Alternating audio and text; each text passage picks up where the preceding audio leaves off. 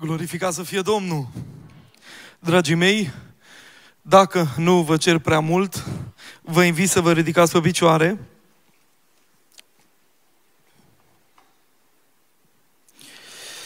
Nu de alta, dar o să vă dau suficient timp să stați așezați pe timpul lungii mele predici. În mod evident ați ratat aminul. Cartea 1 Samuel de la capitolul 24 spun asta fiindcă vreau să vă fac un bine. Pe lângă binele spiritual și binele fizic, fiindcă de veți ieși amu de pe ușa bisericii, 36-37 de grade, aici are condiționat, e în regulă, e bine. Dacă eu suport să stau aici cu sacou pe mine, cu atât mai mult dumneavoastră. Cartea 1 Samuel de la capitolul 24 este cuvântul de predică din care intenționez să citesc cuvântul Domnului voi citi voi citi între capitolul.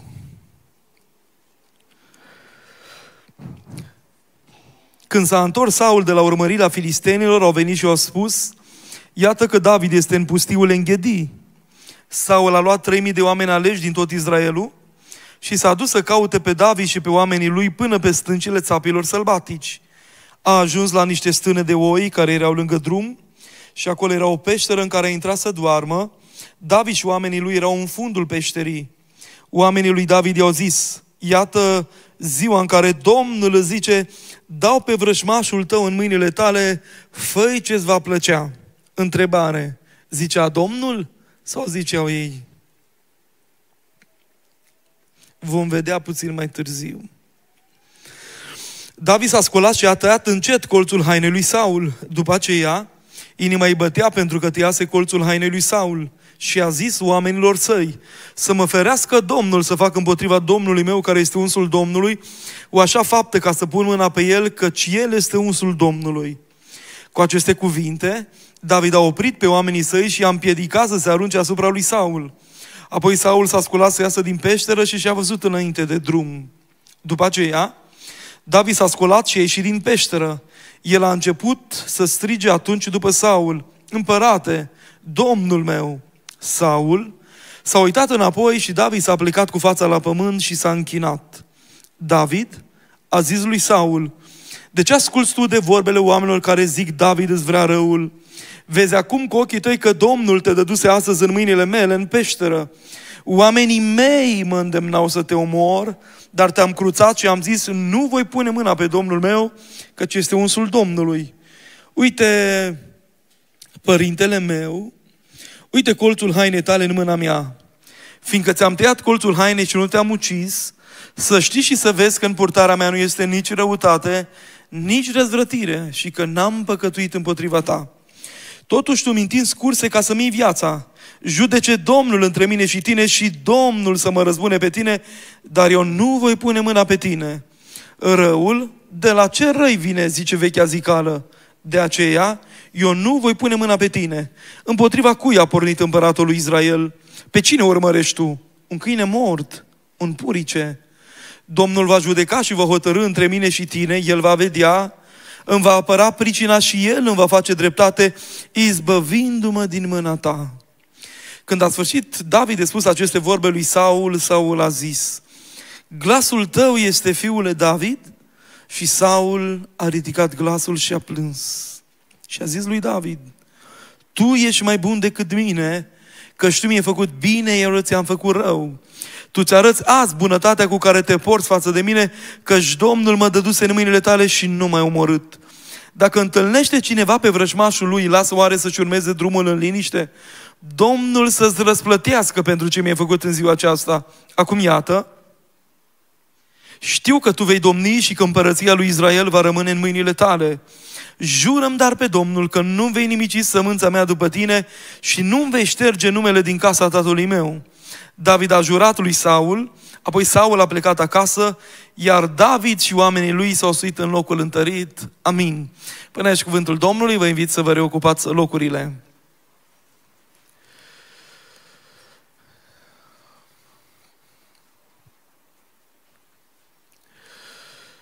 Mulțumesc Bunului Dumnezeu pentru încă o seară de har pe care mi-a oferit-o mie dumneavoastră. De azi noapte am ajuns pe meleagurile Bihorului dimineață am slujit la un serviciu de botez, undeva în județul Bior, nu foarte departe de orașul Oradea. Și iată că în această seară sunt aici, urmând ca mâine dimineața, cu ajutorul lui Dumnezeu, să mă întorc înapoi acasă, nu chiar aproape de dumneavoastră, la Târgoviște, o oră de București, un drum de peste 550 de kilometri. Însă, în această seară, frământat fiind de mai multe texte de predică, pentru că responsabila, și aș vrea să cunosc responsabila care se ocupă cu treaba asta de invitați, de evenimente, de titluri, de afiși, pentru că e atât de minuțioasă și mi-a spus, aș dori dacă se poate până joi să-mi dați titlul predicii. Și sigur că eram prin Germania și am observat cu câtă atenție și responsabilitate își face treaba. Frate Marius, frate Beni, ceilalți colegi de slujire care probabil o să mă audă ulterior, Adi și fratele Călin, dacă în toate departamentele aveți frați și surori care să-și facă treaba cu atâta minuțiozitate și responsabilitate, e treabă bună. O să reușiți voi să achiziționați și mai, ce mai trebuie achiziționat și Dumnezeu să vă dea biruință. Amin? Dragii mei, în această seară am citit un cuvânt din Biblie care descrie un moment de criză din viața poporului Dumnezeu Israel. Dumneavoastră trebuie să știți în seara asta faptul că dintre toate popoarele, Dumnezeu într-un mod suveran a ales un popor pe care să-l numească poporul lui și care să fie un fel de arhetip pentru toate celelalte popoare. Chiar așa se exprimă însăși Biblia. Spune, te-am ales să fii lumina celorlalte popoare. Așa se face că Dumnezeu și-a ales un popor pe care l-a format, l-a construit, i-a dat legi și care a fost într-un fel vehiculul lui Dumnezeu pentru ca oamenii să-L poată cunoaște pe Dumnezeu din toate celelalte popoare. Sigur că Israelul, am putea spune că din punct de vedere al formei de guvernământ, a avut cel puțin trei forme de guvernare. Mai întâi, a fost perioada teocrației, când în mod direct Dumnezeu conducea poporul. În mod evident, prin diferiți lideri. Și vreau să știți că Dumnezeu și-a condus direct poporul și a făcut-o prin diferiți lideri și vorbesc despre oameni proeminenți ca Moise, căruia Dumnezeu i-a revelat legile sale și vorbesc aici mai întâi despre legea morală, decalogul, legile juridice ale vremii de atunci, legile sanitare, legile ceremoniale, etc. A urmat a doua perioadă de guvernare numită perioada judecătorilor, când în timp de criză spirituală, morală, economică și chiar militară, Dumnezeu ridica niște oameni care să fie un fel de indicator al lui Dumnezeu prin care să poată fi izbăviți. Așa se face că Dumnezeu a ridicat oameni precum Samson, Deborah, Samuel. Și a urmat a treia perioadă a formei de guvernământ numită perioada monarhiei. Și vreau să vă atrag atenția asupra faptului că monarhia n-a fost intenția lui Dumnezeu, și a fost doar îngăduința lui Dumnezeu și între intenția și îngăduința lui Dumnezeu sunt două, două lucruri total distincte. Și cred că reușim măcar la ceasul acesta să facem diferența între voia lui Dumnezeu decretivă, normativă sau permisivă. Ori monarhia făcea parte din voia lui Dumnezeu permisivă, în sensul în care Dumnezeu nu a intenționat, dar Dumnezeu a îngăduit ca peste poporul Israel să ajungă să conducă un rege. Și sigur că ei și-au dorit un rege în momentul în care au privit spre celelalte popoare. Câteodată noi nu ne dăm seama că avem nevoie de anumite lucruri decât printr-un sistem de referință comparativ. Dacă te uiți că vecinul are, pară că ți-ar trebui și dumneata. Al minteri, n-ai fi știut că ai nevoie de lucrul respectiv. Așa se face cu poporul Israel. S-au uitat spre celelalte popoare și au zis, uite, celelalte popoare, măcar că sunt entități păgâne, ei au un rege. Vrem și noi un rege. Și sigur, că Dumnezeu a îngăduit să fie rege peste Israel. Știe cineva care a fost primul rege în Israel sub această formă de guvernământ numită monarhia? Regele Saul, care, apropo, știe cineva câți ani a domnit? Până cu ei bine, de acum încolo? Cât? 40. Dumnezeu să vă binecuvinteze. Din punct de vedere istoric, regele Saul a domnit 40 de ani.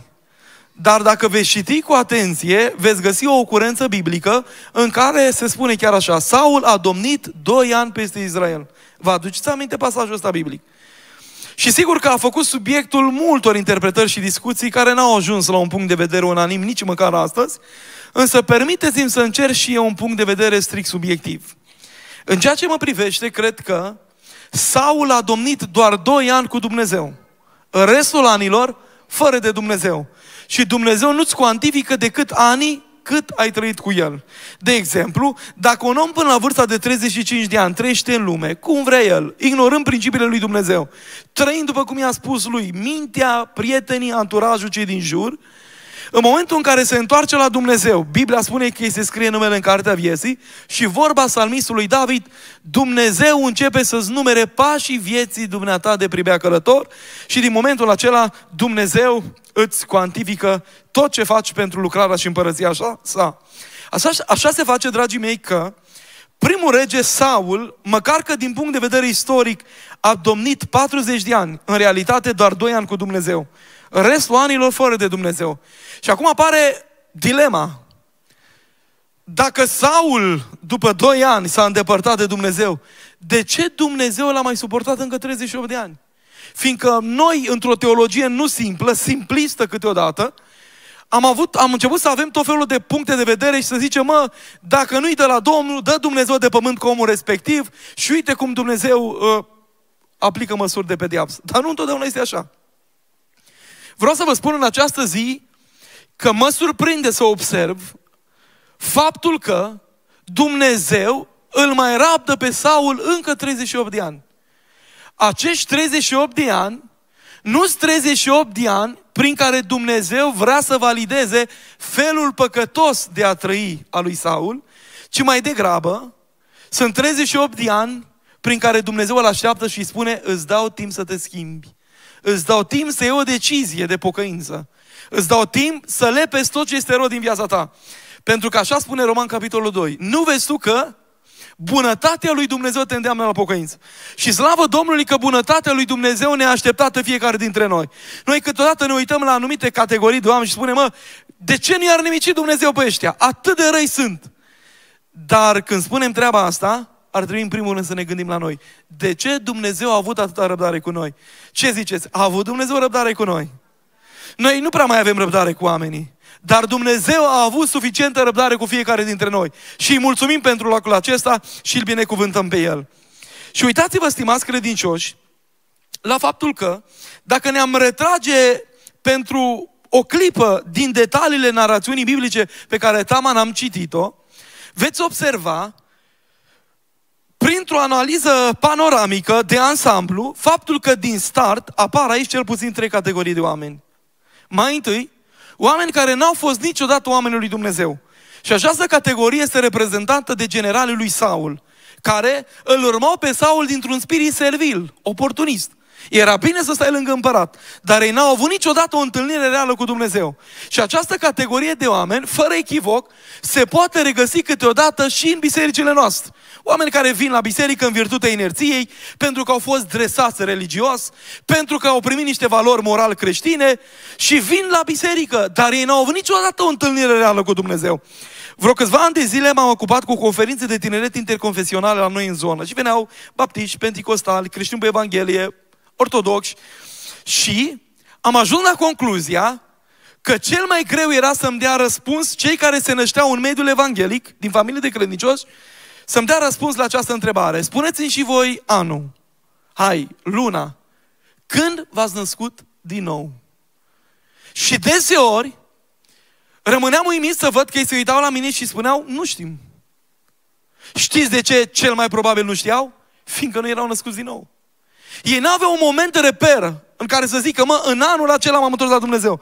Și mi-am dat seama că pentru oamenii din lume, care nu au trăit într-un sistem al valorilor creștine, E mult mai ușor să repereze momentul când s-au născut din nou. Ei zic că era 1997, într-o toamnă predica evanghelistul Adi Mocan, sau nu mai știu care, am ridicat mâna, m-am întors la Dumnezeu, până atunci trăiam în beții, în curvii, în fapte de rușine, în țigări, în tot felul de fapte idolatre, cântam pușca și cureaua lată, trăiam într-un fel sfidător la adresa lui Dumnezeu, dar într-o seară, o cântare, o descoperire, un cuvânt de predică, mi-a schimbat viața, m-am oprit din păcatele mele și din momentul ăla m-am întors la Dumnezeu. Și e foarte simplu pentru ei.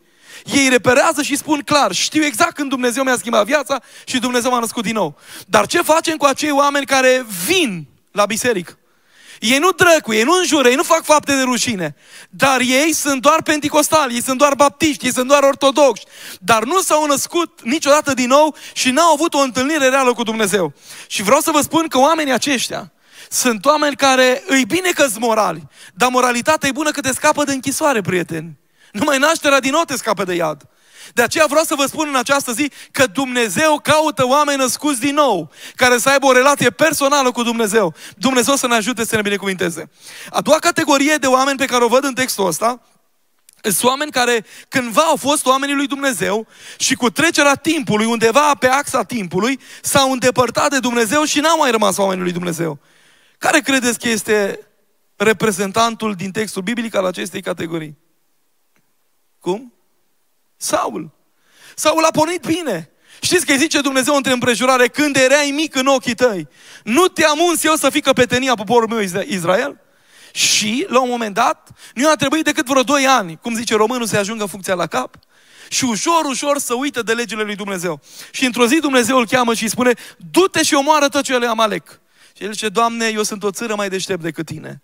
N-a spus-o în vorbă, a spus-o în faptă, că nici noi nu o spunem în vorbă, dar deseori o spunem în faptă, atunci când nu vrem să ne conformăm voii lui Dumnezeu în viața noastră. Și el zice, eu nu o să omor tot ce lui Amalek, îl păstrez pe împăratul Amalecit Agag, oile cele mai bune și știți, ca un fel de simț al ironiei divine, uitați-vă că ce nu omor la tinerețe, în mod indubitabil te va omorâ la bătrânețe. Mai zic încă o dată că asta va suna ca un leitmotiv al predicii mele din seara asta. Ce nu omor la tinerețe, în mod cert te va omorâ la bătrânețe. Când avea vreo 30 de ani, a zis Dumnezeu regiului Saul, du-te și omoară tot ce la Malek. Ba, nu mai păstrez eu câte ceva. Ca după alți zeci de ani, regele Saul, în învălmășara luptei, pe munții din Gilboa, el să-și piardă viața, fiul său Ionatan, și acolo este un detaliu extrem de grăitor. Spune că un amalecit a venit și a furat cu una împărătească și brățara de la mână. Pe amalecitul pe care nu le omorât la tinerețe, a devenit groparul vieții tale la bătrânețe. Pentru că eu am crezut multă vreme că cu cât trec anii și uh, oamenii uh, îmbătrânesc, în mod cer vor deveni mai sfinți, mai pocăiți și mai înțelepți. Vă rog să-mi iertați naivitatea. Nu întotdeauna este așa. Nu întotdeauna trecerea timpului este o garanție a faptului că omul se face mai bun, mai sfânt, mai neprihănit, mai înțelept. Și vreau să vă dau doar așa un exemplu, două. Au fost oameni care la 30 de ani nu fumau decât două țigări pe zi și îi spuneau, domnule, doar două, atât. Și am zis, lasă-mă că la 65 de ani când ies la pensie o să le vină mintea la cap și o să se lasă de tot. De unde? La 65 de ani când au ieșit la pensie nu mai fumau două țigări, fumau două pachete de țigări. La 30 și puțin de ani beau, beau câte un pahar de alcool și spuneam, noi nu bem decât câte un pahar de alcool. Că noi zice, suntem cumpătați, neștiind că școala beției e băutura cumpătată. Da, mă rog, asta e altă treabă. Și am zis, bă, la 65 de ani o să se lasă de prostiile astea. Și la 65 de ani era domnul avocat, domnul inginer, domnul profesor. Nu mai avea un pahar, beau nu știu câte halbe de bere. Pentru că nu întotdeauna trecerea timpului constituie garanția faptului că oamenii devin mai sfinți, mai buni, mai înțelepți. Și uitați-vă că în textul acesta, cu cât trecea timpul și Saul îmbătrânea, în loc să devină mai sfânt, mai bun, mai aproape de Dumnezeu, era mai departe de Dumnezeu, trea în mai multe păcate și întorcea spatele lui Dumnezeu. Și uitați-vă că poate exista această categorie de oameni care pornește bine pe drumul mântuirii și mai apoi se îndepărtează fără măcar să-și dea seama. Pentru că ciudățenia faptului că omul se îndepărtează de Dumnezeu e că el pierde busola valorilor spirituale și nici măcar nu-și mai dă seama. Și a treia categorie de oameni sunt oameni care au fost și au rămas oamenii lui Dumnezeu până la capăt. Și această categorie de oameni este reprezentată de omul lui Dumnezeu David, care a fost și a sfârșit ca om al lui Dumnezeu. Și poate că cineva în această seară îmi va spune, da, pastore, dar dumneata ai uitat episodul cu Bașeva și Urie? Nu, n-am uitat. Dar a fi om al lui Dumnezeu nu înseamnă să fii sfânt și perfect.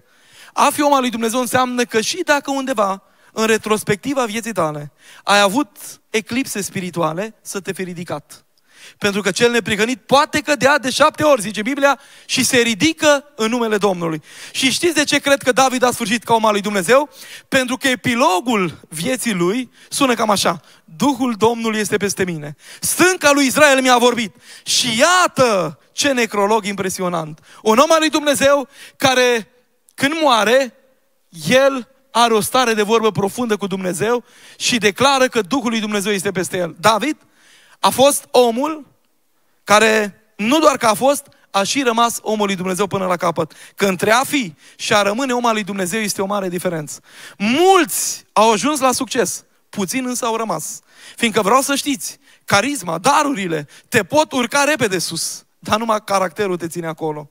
Amintiți-vă doar cu titlul de exemplu de Samson, care repede a ajuns să aibă vizibilitate, privit de către filisteni. Oamenii se uitau și spuneau, băi, Samson, carisma, puterea, tarurile, abilitățile care le avea, le-au dus atât de repede sus, dar numai caracterul te ține acolo. Și pentru că Samson a avut caracter, cât de repede s-a dus în sus, așa de repede a căzut în hăul păcatului. Fiindcă aceasta este cea mai mare problemă. Trăim într-o lume în care foarte puțin se mai pune preț pe caracter. Dar vreau să vă spun că aceasta este temelia oricărui slujitor, oricărui credincios. Și dacă n-ai această temelie solidă a caracterului tău, în armonie cu principiile lui Dumnezeu, mai devreme sau mai târziu, întreg castel numit viața ta, la primul impact se va prăbuși și doar se va auzi, băi, auzi de ăla. Păi, și dumneavoastră să înțeles ideea. E și acum, voi privi pe, pe această linie, la acest om al lui Dumnezeu pe nume David, și voi încerca să răspund la întrebarea deja anticipată de joi, datorită, datorită surorii, cred că Patricia. Patricia. E, dragii mei, ce înseamnă, sau hai să o iau altfel, ce mai înseamnă să fii om al lui Dumnezeu sau om după inima lui Dumnezeu? Pentru că mi se pare că de la o vreme a fi om al lui Dumnezeu înseamnă să ai agenda plină, să fii un influencer, să te caute oamenii, să zică, bă, îl cunosc pe ăla, cum predică ăla, cum slujește ăla, nu mai e nimeni ca el. Și câteodată mi se pare că ne-am schimbat valorile și nu mai sunt în acord cu valorile lui Dumnezeu. Și vreau în această zi, oricine am fi, baptiști, penticostali, ortodoxi, catolici, agnostici, atei, orice am fi în seara asta aici, în lumina Sfintei Scripturi, să încercăm să dăm trei răspunsuri la această întrebare. Ce mai înseamnă să fii om după inima lui Dumnezeu? Și vom încerca trei răspunsuri. Mai înainte de a răspunde la această întrebare, permiteți-mi să mai spun două vorbe jumate. Dragii mei, mie mi se pare ciudat ca Saul dintr-o dată să înceapă să privească cu ochi de ură și de invidie împotriva lui David. Nu mi se pare drept treaba asta. Știți de ce? Pentru că David a fost omul care a făcut numai bine. Și cu toate astea, Saul într-o zi se întoarce împotriva lui. Și știți de ce? Totul a pornit de la un celebru refren. Nu era refrenul pe care uh, l-au preluat ăștia, l-au compus niște fete. Asta au fost ingenioasă. Fete evreici. Zice, Saul a bătut miile lui, iar David a bătut zecile lui de mii. Și dintr-o dată s-a mutat David de la inima lui Saul la ficații lui Saul. Și nu l-a mai privit ca înainte. Câtă vreme suntem egali, e ok. Dacă Dumnezeu face un pas în față pentru cineva și spune, mă, tu un pic mai înainte, atunci apare boala românului. O cunoașteți? Invidia. Că eu am ajuns la concluzia că dacă invidioși mor, invidia niciodată. Și mai perfidă decât invidia care uh, vorbește, invidia care tace. Nu știi niciodată când te lovești. Așa se face că din momentul acela Saul a început să-i poarte sâmbetele. Se folosește și la dumneavoastră expresia asta. A purtat sâmbetele. Nu, adică să caude să vrea să-i facă rău de fiecare dată uh, lui David, fără măcar să aibă vreun motiv plauzibil. Și din momentul acela Saul caută să-l urmărească în fiecare zi. Știți, mie îmi sunt dragi oamenii care pentru a li se vedea lumina lor, nu trebuie să stingă lumina altora.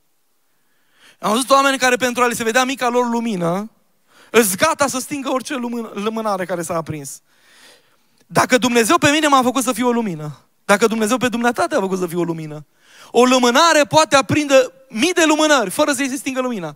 Dacă Dumnezeu m-a făcut pe mine să fiu o lumânare, și pe dumneata să fie o lumânare. Dumneata poți aprinde mii de lumânări, fără ca lumina dumneata să se stingă. E loc pentru toți în ogorul lui Dumnezeu.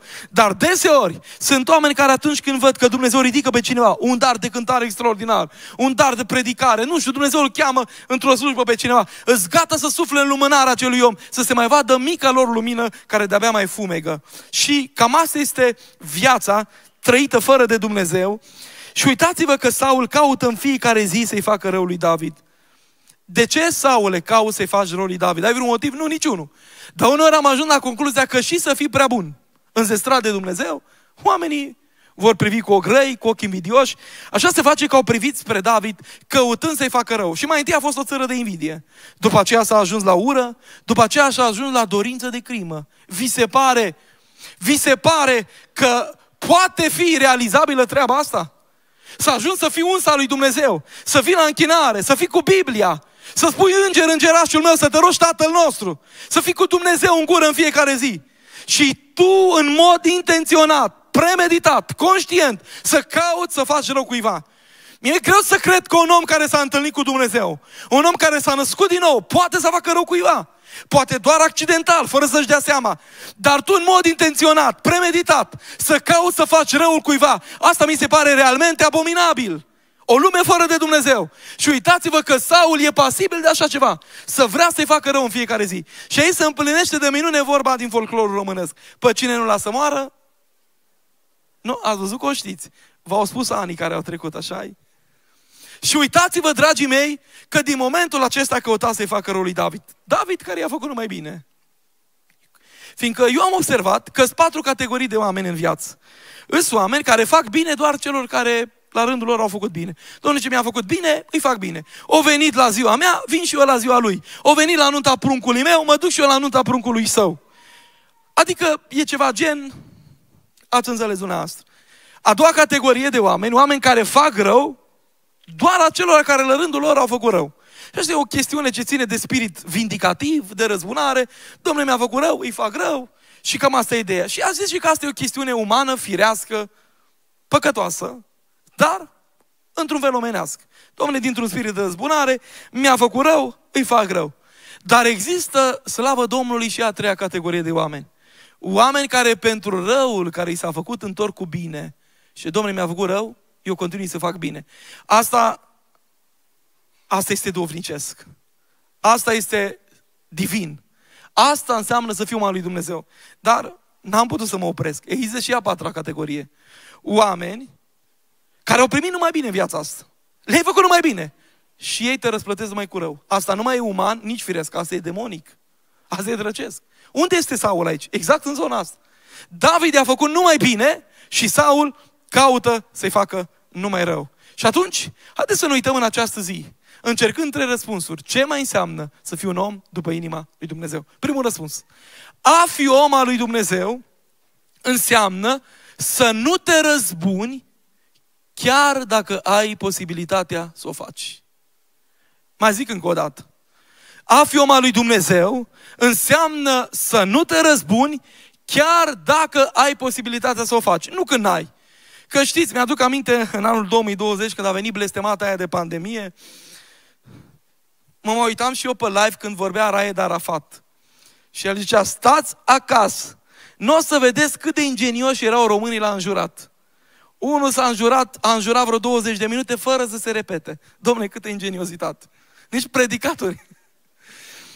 Și știți ce ziceau România? Hotărât să se răspune pe Raed Arafat. Dar nu puteau. Avea gardă de corp, era protejat. Dar a fi om al lui Dumnezeu înseamnă să nu te răzbuni, nu când ai posibilitate. Că dumneata nu te poți răzbuna pe șef. Ce poți să-i spui? El îți face contractul de muncă. Domnule zice, la revedere. Dar când poți să te răzbuni și nu te răzbuni, înseamnă că dumneata ești om al lui Dumnezeu.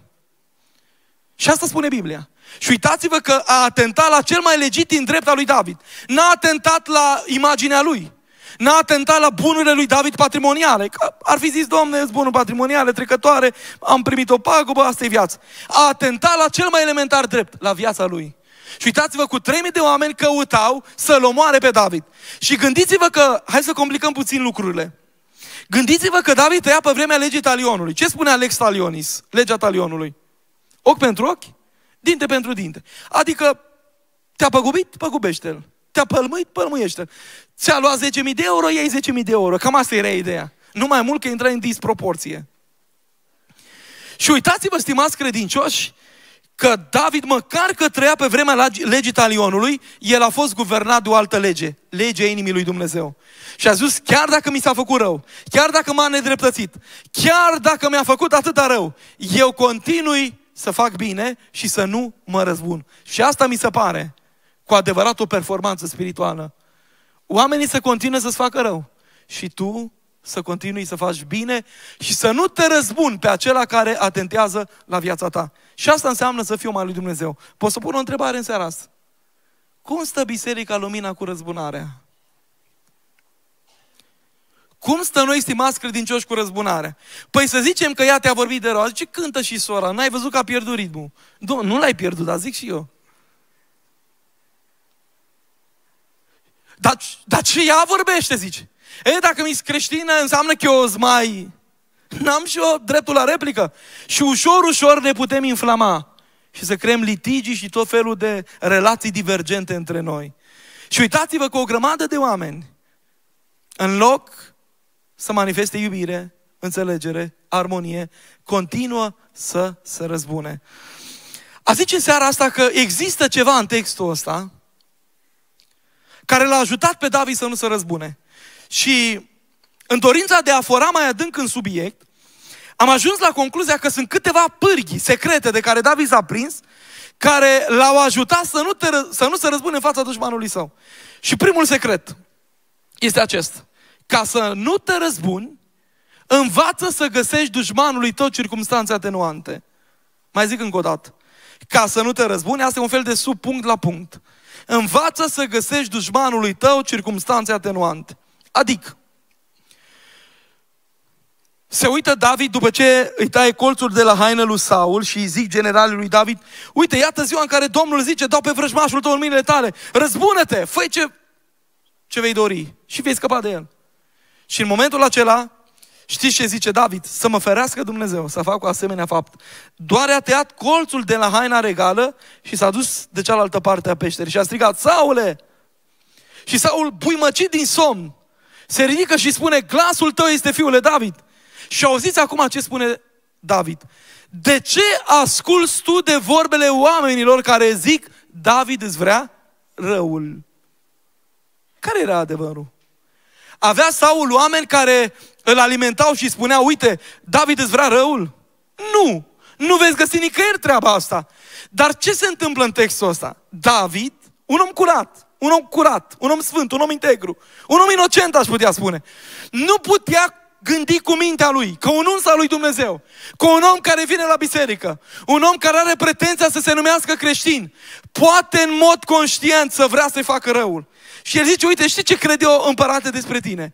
Că tu ai lângă tine niște oameni răi, care te influențează și în fiecare zi spun, ă, David îți vrea răul. Dar știi că nu este așa. Realitatea era că era bolnav de invidie Saul, nu că era influențat de prietenii de lângă el. Dar știi ce văd aici? Acest secret pe care l-am enunțat mai devreme. Învață să găsești dușmanului tău circumstanțe atenuante. Cum vine aceasta? Nu lasă, știu că nu e sora Leana și nici fratele Ion. Știu eu că e diavolul în spate care vrea să lupte împotriva mea. Și când dumneata identifici adevăratul adversar, nu vei mai lupta cu armele lor, vei lupta cu armele luminii. Că ei au armele lor. Armele lor sunt răutatea, răzbunarea, faptele de rușine. Armele dumneata iubirea, înțelegerea, iertarea, reconcilierea, postul, rugăciunea. Dumnezeu să ne ajute. Are careva vreun șervețel? Bine, dacă unul nu aveți, două aveți. Mulțumesc frumos! Nu vor să-mi aducă mai multe pachete, hai că până la urmă deschid un magazin de șervețele aici. Mulțumesc. Mai aveți careva? Dacă mai vin o dată, nu mai îmi trebuie tot anul. Mulțumesc frumos. Am zis eu că e aer condiționat. Nu, nu știu pe unde e. L-a spitit.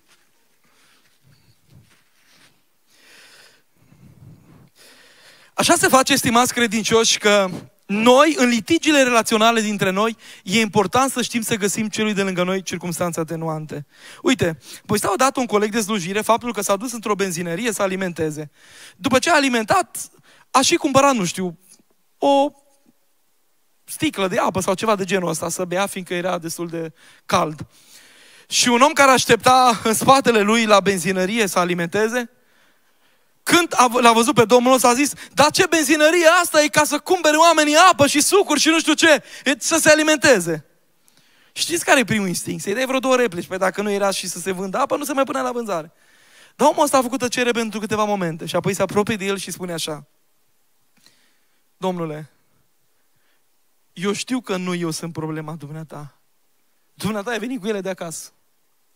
De aceea nu pot să zic decât Dumnezeu să-ți ajute în cazul lui dumneata. În momentul acela, știi ce a zis omul respectiv? Domnule, iartă-mă, eu sunt de vină. Pentru că înțeleptul Solomon spune un răspuns blând potolește, potolește mânia. Haideți să vă povestesc ceva în această seară, cu riscul de a mă face vulnerabil, nouă nu prea ne place predicatorul treaba asta, dar mă gândesc că nu reușesc altfel să vă captez pe toți, decât dacă reușesc să mă fac vulnerabil. Eu vin dintr-o familie numeroasă de 10 copii, 6 băi și 4 fete. Slavă Domnului că toți sunt pe calea lui Dumnezeu, căsătoriți credincioși și fac voia lui Dumnezeu. Anul trecut Dumnezeu a hotărât să o cheme pe mama acasă. A fost o sfântă, o femeie vlavioasă care avea dar de profeție, avea cel puțin o oră de rugăciune în fiecare zi.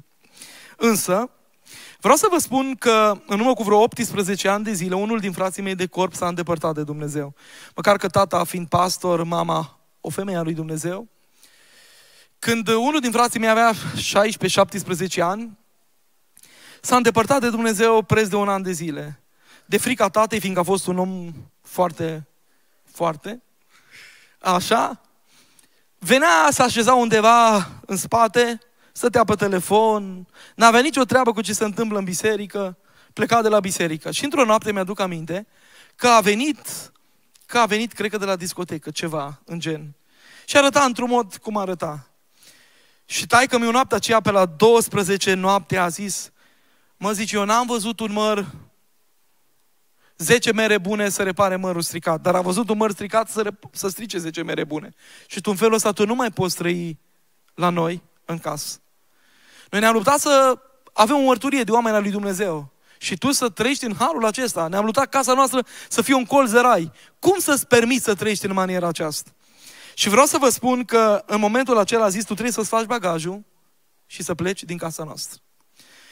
Și mi-aduc aminte, în momentul acela priveam scena să văd ce are să se întâmple. Și mi-aduc aminte că între tatăl meu și fratele meu s-a interpus mama mea. Și a zis așa, Nelule, dacă îl vom da afară din casă, vom rezolva ceva? Îl va crește strada și va deveni mai rebel. E timpul să înțelegem că noi nu avem de luptat cu el. I-am vorbit, i-am explicat, i-am spus și nu mai înțelege nimic. E în timpul să înțelegem că trebuie să luptăm cu armele lui Dumnezeu. Să postim și să ne rugăm ca Dumnezeu să schimbe și să facă un miracol în viața lui. Și parcă tot conflictul din acea seară s-a stins și din momentul acela părinții mei și în mod special mama a început o campanie de post și de rugăciune. Uitați-vă la mine în seara asta. Deseori o auzeam, mergând cu ea la piață, la cumpărături, mânca literalmente, fără nicio urmă de metaforă, covrici cu lacrimi. Pâinea cu lacrimi și spunea așa, Doamne, eu am făcut copiii ăștia fiindcă te-am iubit pe tine și am vrut să fie capodopere în mâna ta, nu material pentru iad. Și nu pot accepta ideea ca unul din pruncii mei să ajungă într-o zi în iad. Te rog, fă o minune. Și a început să se roage. În fiecare noapte o auzeam la patru dimineața rugându-se. Se mai trezea iară la șapte când noi plecam la școală. Se ruga lui Dumnezeu. Mai mult decât atât, vreau să vă spun că a ajuns să postească patru zile pe săptămână post. Și după un an de zile de post și de rugăciune, fiul ei risipitor s-a întors acasă. S-a întors la Domnul. Fiindcă ea a înțeles atunci că lupta nu-i cu el. Și că el este legat de diavolul și oricât am încercat să explicăm, să luminăm, nu va prinde. Și a știut cum să lucreze înțelegând că adevăratul adversar e diavolul care l-a legat, l-a prins și are nevoie de eliberarea lui Dumnezeu. În urmă cu vreo 5 ani de zile eram la Londra. M-am dus să predic. El locuiește acolo, acum e căsătorit, îl iubește pe Domnul, are copil măricel, adolescent. Și vreau să vă spun că cred că eram pentru o zi, maximum două la Londra și n-am vrut să-l anunț pentru că nu am vrut să-i deranjez programul. Care a fost în Londra, știți că Londra nu e chiar ca Oradea, e mai mare. Și mă sună el, zice, te-am văzut pe un anunț, Timotei, tu vii în Londra și nu spui nimic? Păi zic, bă, nu ți-am spus pentru că n-am vrut să te deranjez, pentru că eram pentru o zi și știam că din capătul ăla în capul celălalt unor faci vreo două ore și n-am vrut să te deranjez. Nu zice, trebuie să ne vedem. Ne-am văzut la un restaurant. Ne-am așezat, am stat de vorbă și la un moment dat el îmi spune, știi, eu nu mai pot rămâne. De zic, de ce? Pentru că zice el, ă, eu trebuie să ajung în seara asta la cina Domnului, avem masa Domnului și nu vreau să întârzi de la întâlnirea cu Domnul.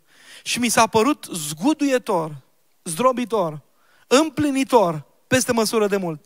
Faptul că dacă până mai în urmă cu ceva ani fugea de Dumnezeu, acum fugea după Dumnezeu, să nu întârzie de la masă cu Domnul.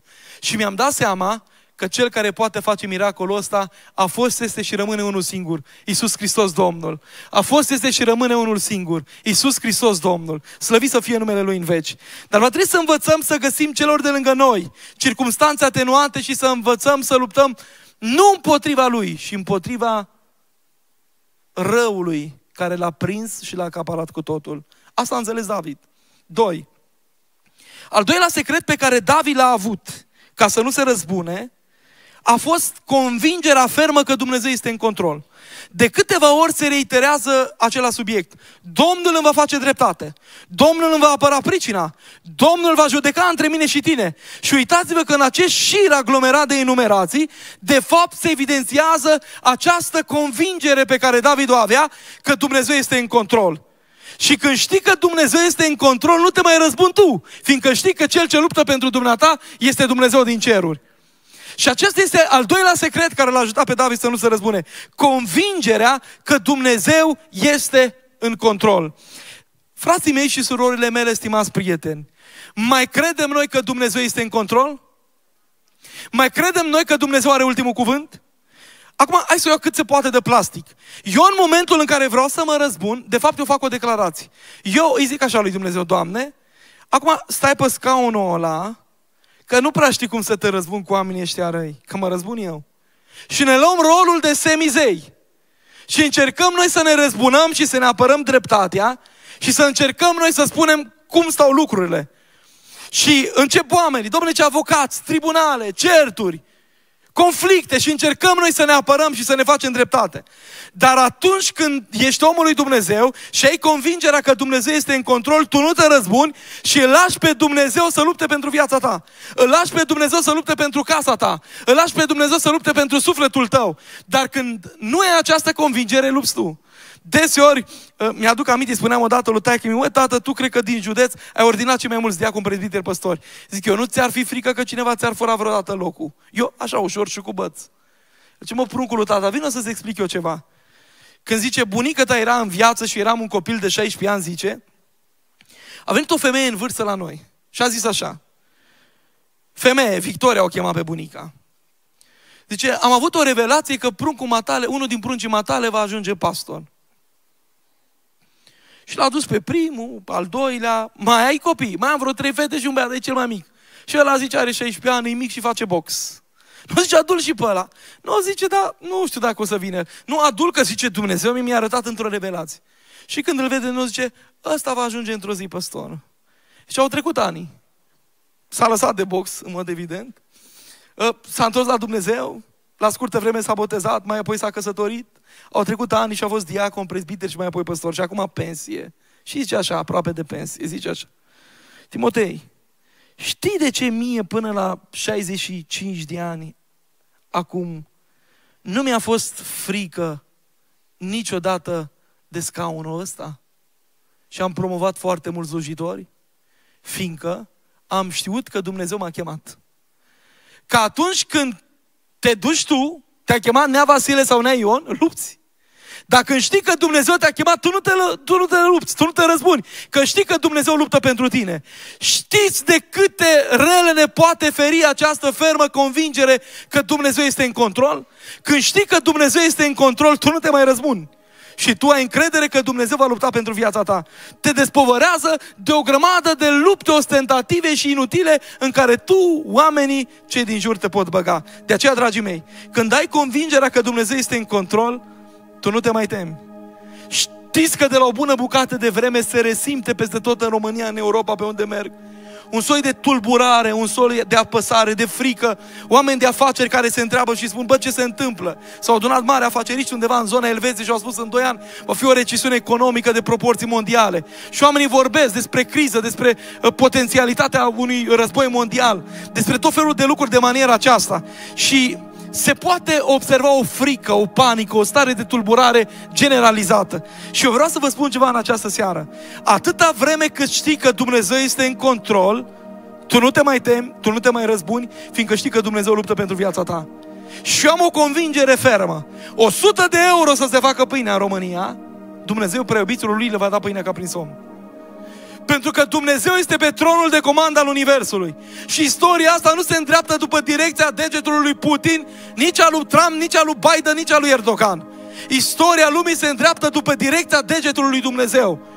Și Dumnezeu este suveran peste tot și toate și El conduce destinele istoriei omenirii, destinele vieții dumneata și destinele familiilor noastre, slăvit să fie Domnul în veci. De aceea, David a știut foarte clar și uitați-vă că în toată viața lui a fost convins de acest principiu. Lasă-mă pășii mei, că poate Dumnezeu a îngăduit să arunce cu pietre în mine. El nu s-a luat la ceartă cu ei. Ei n-a căutat lupte ostentative, lupte de orgoliu, lupte din aroganță, lupte din motive sterile, ci din potrivă. El a zis, Dumnezeu știe, Dumnezeu vede. Dumneavoastră mai credeți Biblia? Știți că Biblia pe care noi o predicăm spune că niciun fir de păr din cap nu cade fără dăștirea lui Dumnezeu? Păi dacă noi credem Biblia, atunci, dragii mei, să dovedim că suntem convinși că noi nu suntem un accident genetic și nici la voia întâmplării și că Cel ce ne ține și luptă pentru noi este Domnul Dumnezeu din ceruri. Slăvit să fie numele Lui în veci. Și aș mai zice ceva. Un alt secret pe care l-a avut Saul, l-a avut David în lupta cu Saul, a fost, dragii mei, respectul pe care l-a avut pentru ungerea lui Saul. Domnule, ce e unsul Domnului. Într-o lume în care s-a pierdut respectul de Dumnezeu, de lucrarea lui Dumnezeu. A vist ce spunea fratele Beni, nu? Uh, la Paris, acum cu Jocurile Olimpice. Domnule, s-a pierdut orice urmă de respect. Te duci, predici la mormântări și ăștia n-au nicio treabă. Scot pachetul de Malboro, fumează în fața ta. Măcar că se vorbește despre Dumnezeu. Niciun fel de respect. Și David știți ce a zis? Respectul meu pentru ceea ce a fost Saul nu mă lasă să lupt împotriva lui. Ce înseamnă să fiu al lui Dumnezeu? A fi om al lui Dumnezeu, spuneam în primul rând că înseamnă să nu te răzbuni, chiar dacă ai posibilitatea să o faci. Și spunea un om deștept, așa un filozof român, mă, dacă vrei totul să fii fericit o zi, răzbună-te. Dar dacă vrei să fii fericit toată viața, pentru numele lui Dumnezeu iart. Și creștinul va trebui să ierte pentru că și el a fost iertat. 2. A fi om al lui Dumnezeu mai înseamnă ceva. Înseamnă să ai curajul să spui adevărul, chiar dacă în fața ta stă regele. Se uită David către Saul și spune, auzi împărat, tu negreșit ai vrut să-mi faci un rău. El nu numește binele rău și răul bine. El nu încearcă să îndulcoreze cuvintele, să folosească eufemisme.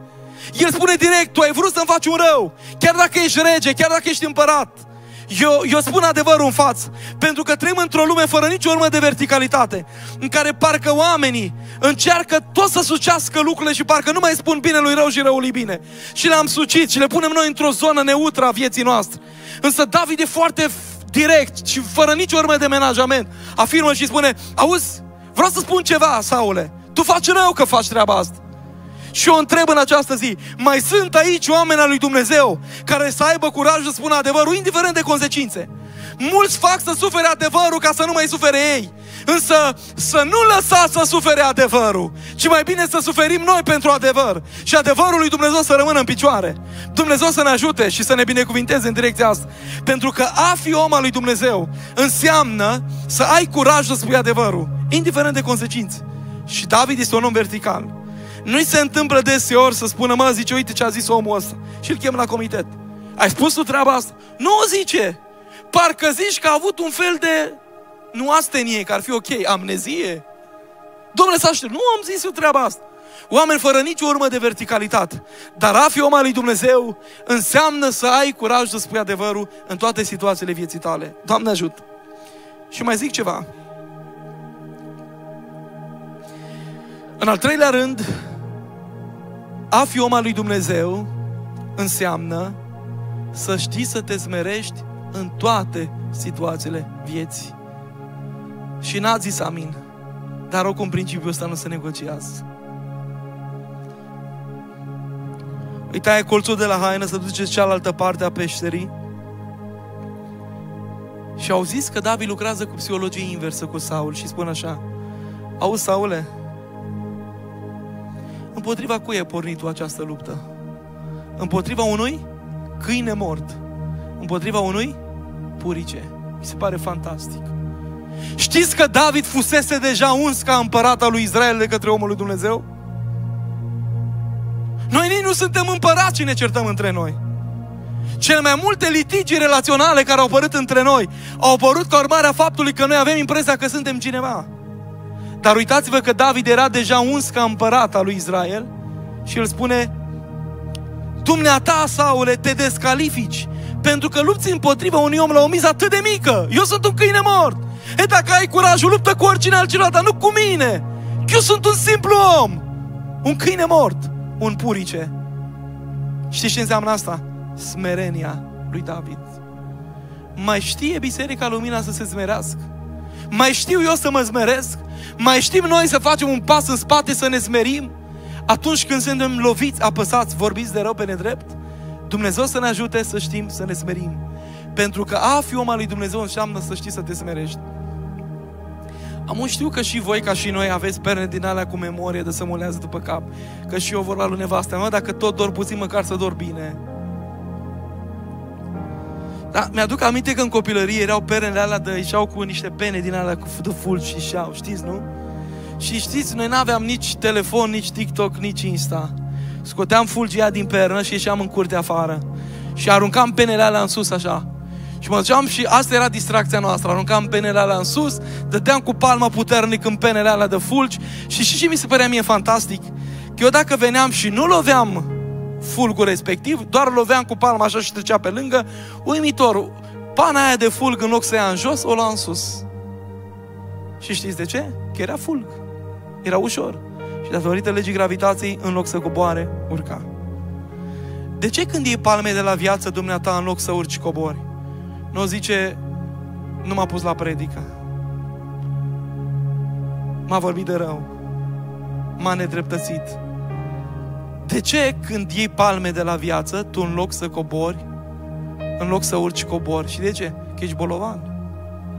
Dar dacă ai fi fulg și știi să te smerești, cu fiecare palmă pe care o ai la viață, tu nu coborurci mai sus, mai sus, mai sus, mai sus. Și David este lovit din toate părțile.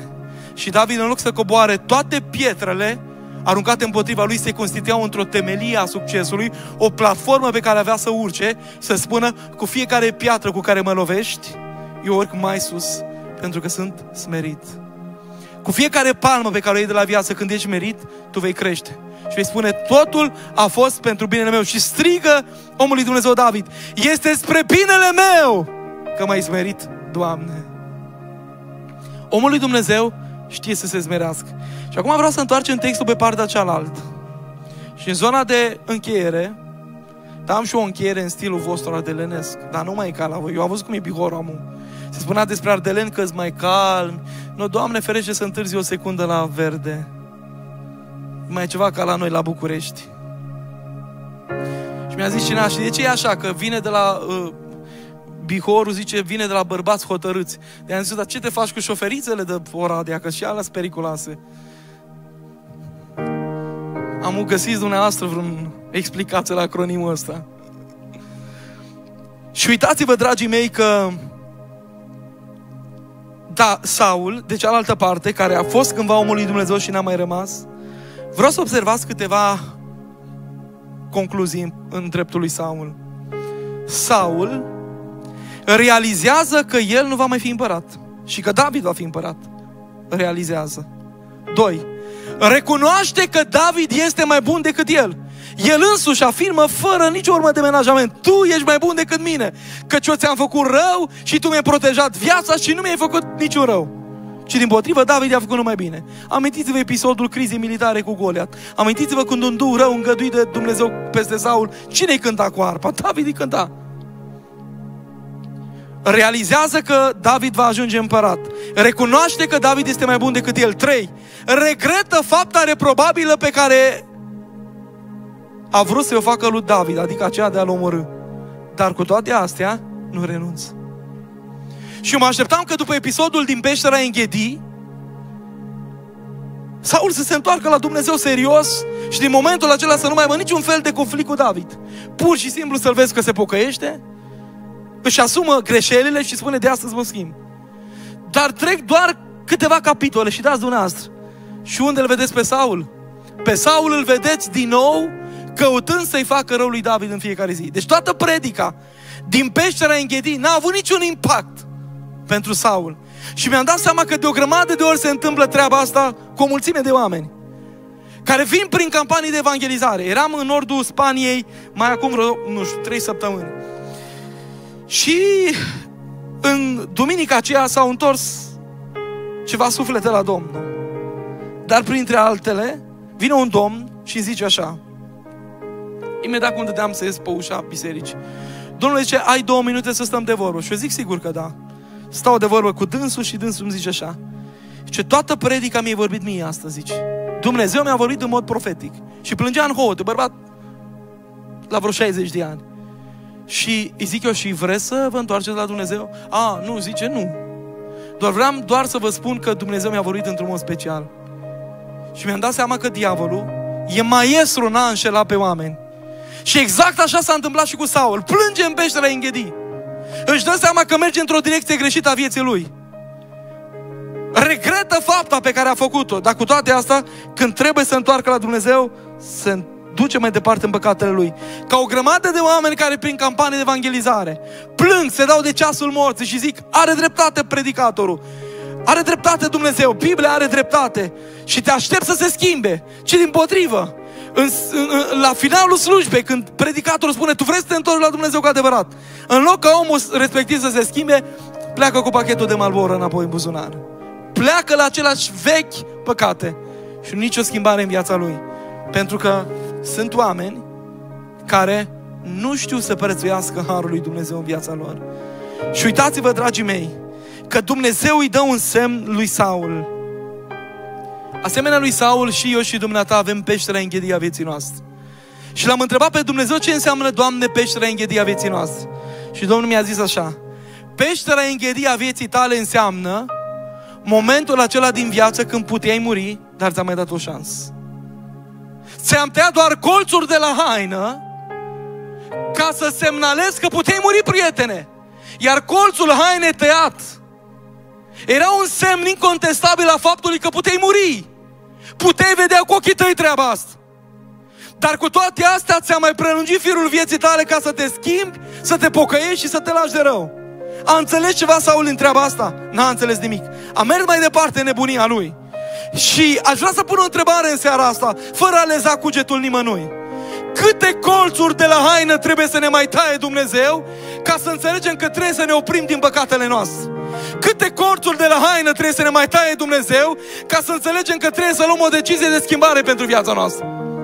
Pandemia, un colț al haine tăiat. Războiul din Ucraina, un colț în haide tăiat. Accidentul de mașină prin care ai trecut și vie este Domnul că ai văzut moartea cu ochii și n-ai murit. Și ești în adunare în această seară. La Biserica Lumina din Oradea. Era dovada clară că puteai muri. Dar Dumnezeu ți-a prelungit firul vieții și a zis, nu vei muri și îți mai dau șansă să te pocăiești. Mai îngădi încă o seară de evangelizare, mai trimit încă un predicator, mai trimit încă un cântăreț, mai trimit încă un mesaj că poate se va lăsa de răul lui. Și uitați-vă că Saul n-a vrut să ia o decizie de schimbare pentru viața lui. Și mă întreb în seara asta, ce ar mai fi putut Dumnezeu să facă viei lui și nu i-a făcut? Uitați-vă, stimați credincioși, că în peștera Înghedii Saul e conștient și vede toate aceste semne. Nu știu care este colțul haine tăiat al vieții dumneata. Poate o boală cumplită prin care ai trecut? Poate un diagnostic numit cancer? Și medicii s-au spus, bă, nu mai ai mult timp de trăit? Și Dumnezeu ți-a prelungit firul vieții? Te întreb în această zi, te-ai făcut mai bun sau mai rău? Pentru că uneori am ajuns să mă întreb dacă trecerea timpului este un semn de binecuvântare sau nu. Deseori îi surprind pe oameni în seara de revelion rugându-se, Doamne, mai dăm un an să mă fac mai bun. Și în loc să facă mai bun, se fac mai răi. Și am o întrebare pentru dumneata, oricare ai fi în seara asta aici. La ce să mai ceri ziua de mâine de la Dumnezeu dacă mâine vei fi un pic mai rău decât ai fost azi? Niciun angajator din lumea asta, dacă și angajează pe cineva acolo și îi sabotează firma o zi, două, a treia zi îl concediază. De atâția ani respira aerul și Dumnezeu te suportă pe planeta asta. Și te întreb, ești mai bun sau mai rău? Cu fiecare zi care trece peste calendarul vieții mele și peste calendarul vieții dumneavoastră, ar trebui să ne facem mai buni. Azi, puțin mai buni decât am fost ieri. Și mâine, mai buni decât am fost astăzi. Numai că realitatea este că sunt oameni care cu trecerea timpului, așa cum spuneam în incipitul predicii mele, în loc să se facă mai buni, se fac mai răi. Și trecerea timpului, timpului pentru mulți nu este o binecuvântare, este un blestem că și adună o comoară de mânie. Am o întrebare în această seară. Dumneata de câți ani te-ai întors la Dumnezeu? 10 ani? 15? 20? 30? V-ați făcut mai bun sau mai răi? Că mie mi se pare că trăim într-o lume în care, afară de faptul că am învățat câteva versete pe de rost în plus ca să dăm în cap la alții, atâta răutate și atâta spirit acid și contundent, unii în relație cu alții, ne-am asmuțit unii împotriva altora. Nu există, Domnule, nici o brumă de bunătate. Și mă întreb în această seară, câte corțuri de la haină să ne mai taie Dumnezeu? Știți ce vreau să-i spun în seara asta lui Dumnezeu? Doamne, nu mai vreau niciun colț ai haine tăiat. Astăzi sunt hotărât să mă opresc din nebunia mea. Astăzi sunt hotărât să mă întorc cu toată inima la tine. Eu nu vreau sub, să cad sub incidența aceleași păcat de care s-a făcut vinovat Saul. A văzut cu ochii lui că putea muri. A văzut dovezi clare că Dumnezeu i-a mai dat timp, i-a mai dat șans. Și el a călcat în picioare oportunitățile lui Dumnezeu. Fii înțelept în seara asta, fii înțeleaptă, stimată Doamnă. Și în seara asta pune hotar. Și în această linie de hotar spune de astăzi, eu mă schimb și mă întorc la Dumnezeu cu adevărat. Vreau să închei în această zi și probabil că în următoarele 5 minute, hai 7, să vină tinerii să cânte. Vreau să închei în seara asta spunându-vă o ilustrație care mi-a marcat profund viața. Aveau 20 ceva de ani. Au plecat într-o țară, nu dau nume. Ea credincioasă, el nu. Vă rog să-mi iertați ironia. Era prea deștept să se pocăiască el. Au ajuns să dezvolte o afacere prosperă de milioane de euro. El în fiecare duminică o ducea în parcarea bisericii, o lăsa acolo, ea cu Biblia la subsoară mergea duminica la biserică. El nu stătea la cafele, la șuiete lungi cu prietenii, mai făcea mișto pe seama pocăiților, mai la un par de cafea, mai un pic împletită cu țigară, că parcă n-ar fi avut gust altfel. Știți câtă vreme l-a așteptat Dumnezeu?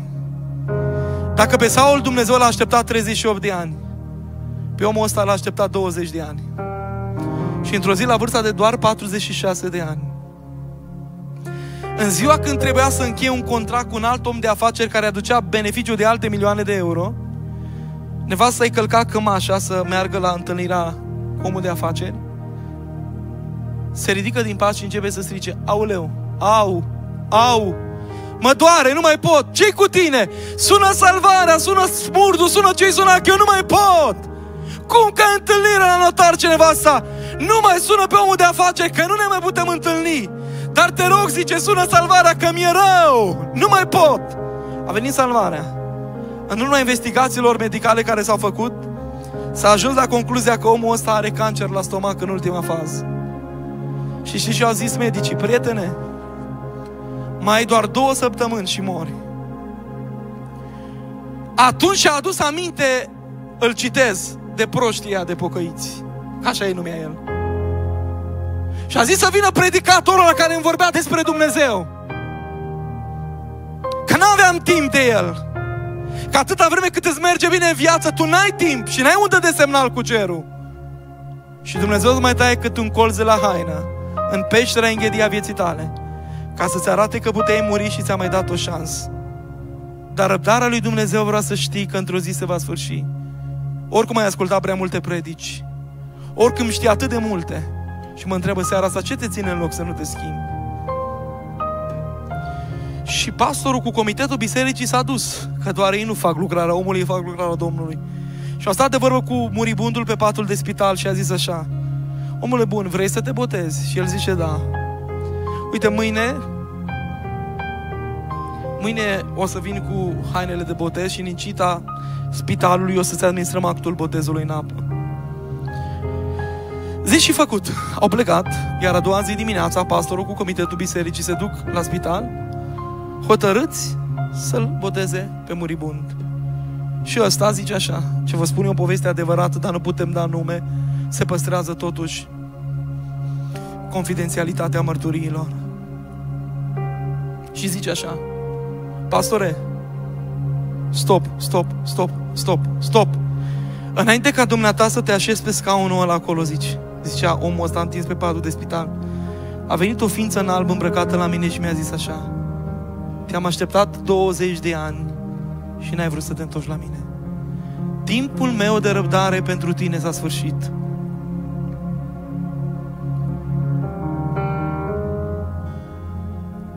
Ți-am vorbit 20 de ani prin faptul că o lăsai în parcarea bisericii pe nevastă ta și ea mergea la biserică.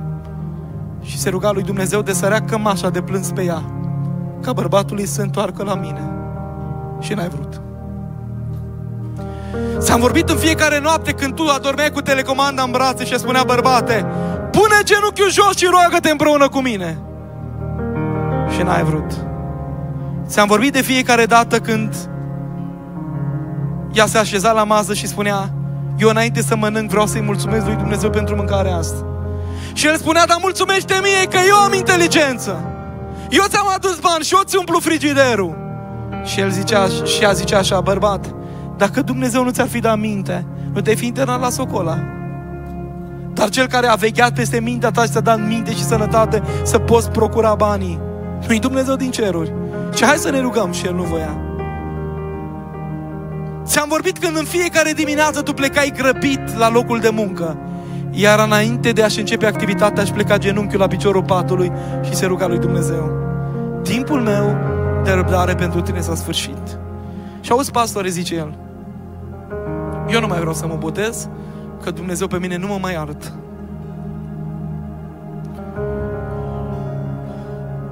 V-au spus oamenii că Dumnezeu este infinit și nelimitat?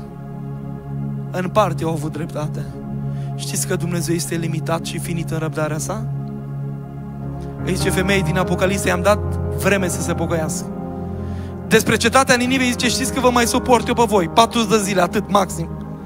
Îi zice Dumnezeu lui Nebucadențar în timp ce se plimba, în timp ce a văzut un copac mare, înalt și verde, era peticul de la haina lui tăiat. Și se întreba, bă, ce să însemne copacul ăsta mare, înalt și verde?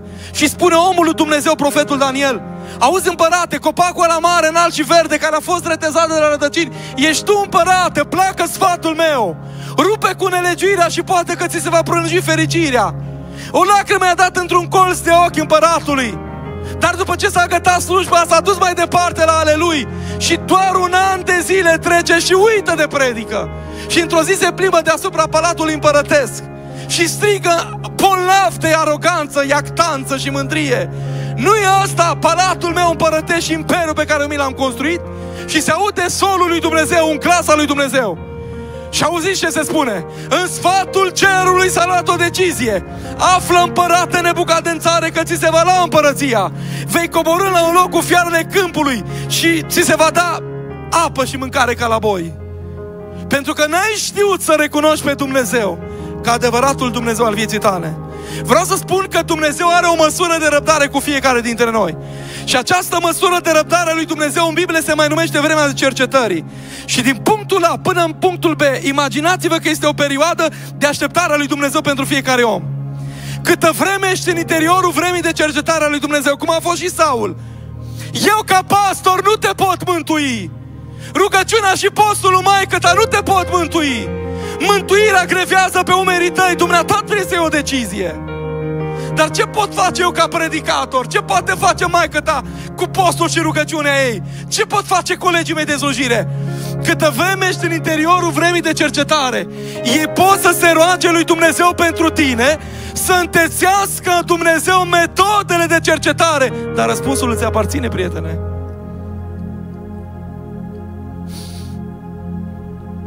Și atunci,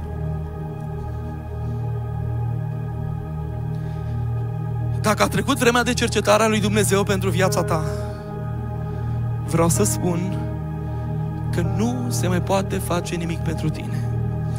Păstorul ăsta vorbea cu muribund și spunea, dar dacă ființa aia îmbrăcată în alb era diavolul, că și diavolul se poate face un înger de lumină.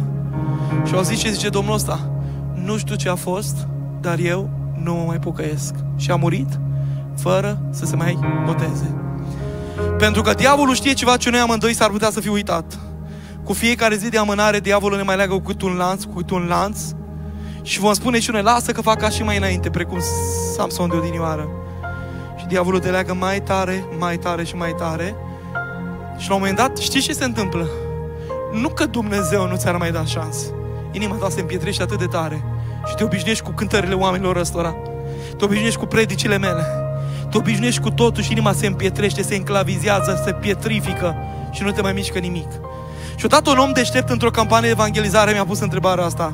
Frate Timotei, când știu că mă aflu de finalul vremii de așteptare a lui Dumnezeu și aduce pedeapsa în dreptul meu? Și am făcut pauză pentru câteva momente și am găsit răspunsul în Biblie. Și am zis așa.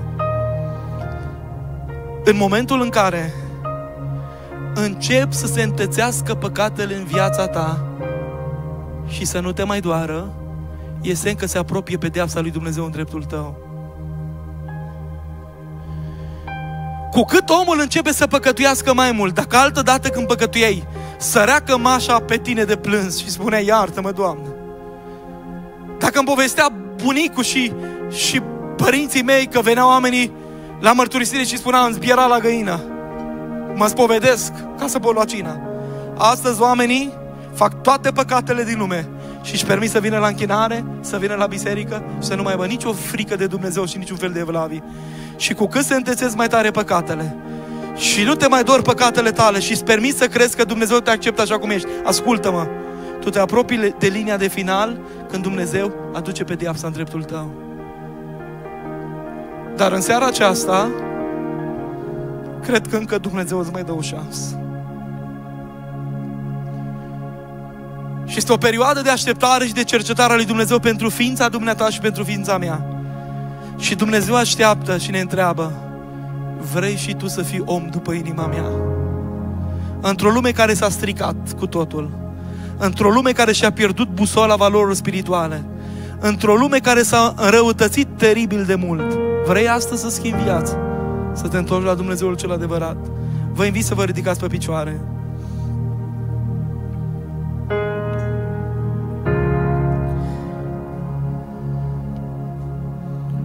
E târziu, prieteni. E foarte târziu.